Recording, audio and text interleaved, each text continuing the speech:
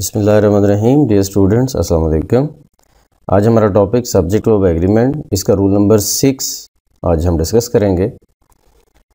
तो rule number six measurements के हवाले से है कि अगर मैयरमेंट सब्जेक्ट के तौर पर आ जाएँ तो हम वर्ब कैसे लगाएँगे? जैसे ही मैयरमेंट का वर्ड आता है सब्जेक्ट के तौर पर तो हमारा माइंड फ़ौरन से इस तरफ़ चला जाता है कि ये अनकाउंटेबल नाउन होंगे। ज़ाहिर है, जो काउंटेबल नाउन होते हैं, उनकी तो काउंटिंग होती है ना। और मैयरमेंट जो है, वो अनकाउंटेबल नाउन्स की होती है। तो मैयरमेंट्स के हवाले से हम ये बात करेंगे मैयरमेंट अमाउंट की भी हो सकती है क्वांटिटी की डिस्टेंस की टाइम की हो सकती है। तो इसमें अब देखें two hours is a long distance two hours देखिए टू आवर्स एक यूनिट ऑफ़ टाइम बनता है। टू अलग अलग देखिए टू का वर्ड लिखा हुआ है, आगे आर्स भी लिखा हुआ है, लेकिन अलग अलग तो नहीं हमें पता चलता कि ये जी वन आर है, ये जी टू आर है, और अलग अलग विजिबली हमें नज़र आते हैं। जस्ट एक आइडिया ही है ना? जस्ट एक आइडिया है, और आइडिया एब्स्ट्रैक्ट नाउन होता है। Abstract noun abstract noun uncountable होता है, ठीक है? सो इसलिए टू आर्स एस होने के बावजूद भी ये प्लूरल नहीं काउंट होगा और टू आवर्स एक यूनिट ऑफ़ टाइम बनेगा और इसको हम सिंगुलर ही डील करेंगे। ऐसे ही five miles is too far to to walk five miles एक यूनिट ऑफ़ डिस्टेंस बनेगा।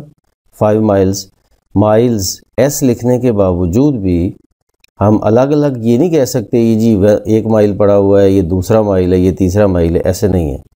अलग अलग नहीं है काउंटेबल नहीं होगा। ये होगा अनकाउंटेबल सेंस में ही, क्योंकि डिस्टेंस बता रहा है तो ये एक सिंगुलर आइडिया ही बनेगा, चूँकि ये अनकाउंटेबल तो होता ही हमेशा सिंगुलर है ना? अनकाउंटेबल नाउन होता ही हमेशा सिंगुलर है तो इस वजह से ये इज़ के साथ आएगा। टू टाइम्स फाइव ये भी एक आइडिया बनता है। इज़ टेन ठीक है? इज़ टेन हालाँकि टाइम्स लिखा हुआ है, लेकिन इसके बावजूद भी इज़ टेन आएगा, क्योंकि टू टाइम्स फाइव एक मैथमेटिकल आइडिया बनता है क्वांटिटी का या अमाउंट का।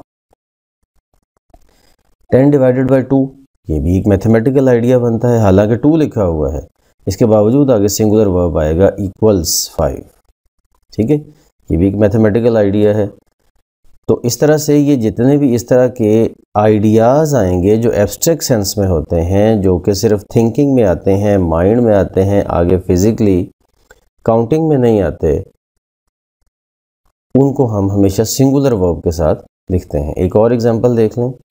Twenty rupees he paid me was insufficient twenty rupees हालाँकि प्लूरल नज़र आ रहा है, लिखा भी है रुपीज़ के साथ है। लेकिन ट्वेंटी रुपीज़ मिल के आइडिया तो एक बनता है ना। जस्ट वन आइडिया बनता है और ये अनकाउंटेबल सेंस है।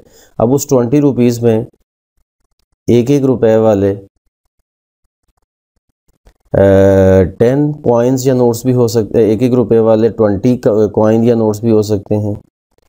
टू रुपीज़ वाले टेन कॉइन्स या रुपीज़ भी हो सक, अपना नोट्स भी हो सकते हैं। ठीक है? इसी तरह से ट्वेंटी रुपीज़ का वन एक नोट भी हो सकता है। टेन रुपीज़ वाले दो नोट भी हो सकते हैं। वो कुछ भी हो सकता है। फिजिकली तो वो करेंसी है ना, जो हमारे पास कॉइन और नोट की शक्ल में है। लेकिन असल यहाँ पे ट्वेंटी रुपीज़ एक अमाउंट का आइडिया दे रहा है। तो वो जो अमाउंट का आइडिया है, वो सिंगुलर बनेगा। इसलिए वॉज़ हम उसके साथ यूज़ करेंगे। तो ये मेयरमेंट्स के आइडिया के साथ ही हम आज कंक्लूड करते हैं। दैट्स इट फॉर टुडे अल्लाह हाफिज़।